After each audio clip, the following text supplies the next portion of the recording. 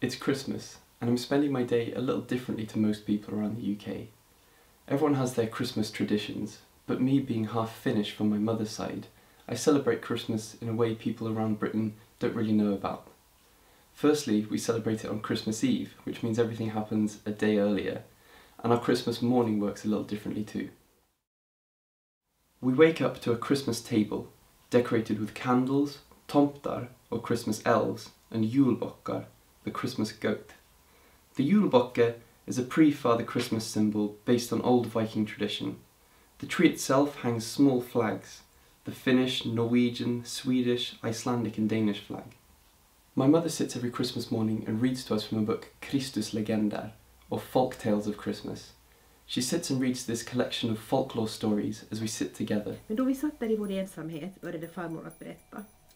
Det var en man, sade hon, som gick ut i mörka natten för att låna eld. Han gick från stuga till stuga och knackade på. In Finland, Christmas Eve starts early, with everyone getting up to go to church before sitting down together to eat breakfast.